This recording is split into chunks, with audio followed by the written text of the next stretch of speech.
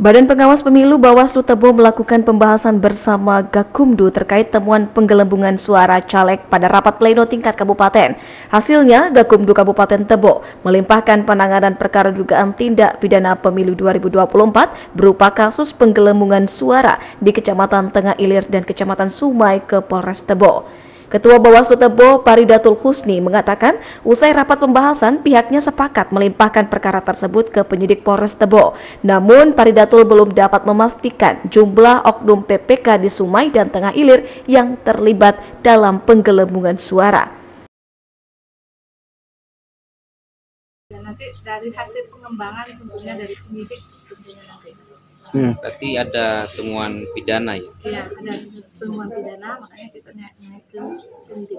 Jadi untuk untuk naikkan penyidik tuh berapa, berapa orang yang yang Indikasi ada Indikasi berapa, berapa orang? orang? Orang oknum BPK-nya. Yang jelas nanti dari pengembangan penyidik, penyidik aja nanti ya. Dari hasil kami yang jelas dari Kecamatan Sungai dan Tengah Ilir.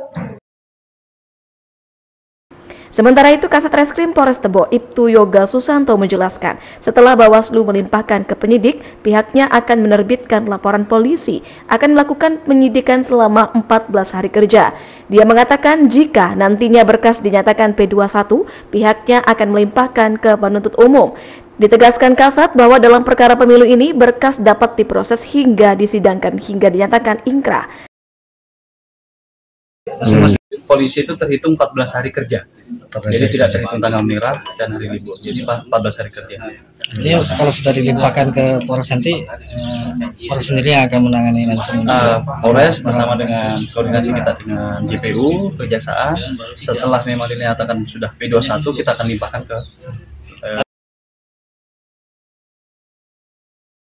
Sebelumnya, Gakumdu telah melakukan pemanggilan seluruh PPK Sumai dan Tengah Ilir untuk klarifikasi terkait penggelembungan suara. Namun hingga panggilan terakhir dan diperpanjang selama tujuh hari, ada empat dari total 10 orang PPK yang tidak hadir.